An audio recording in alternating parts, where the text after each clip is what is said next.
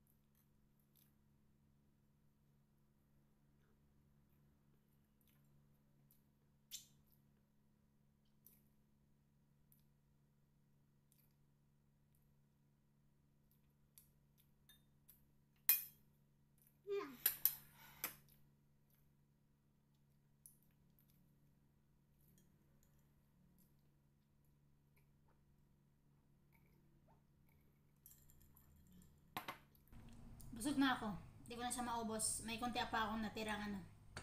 Pinya, tapos yung cake, kalahati lang. Yung manok lang naubos ko. Yun lang. Simpleng mukbang. Babay na naman. Bye!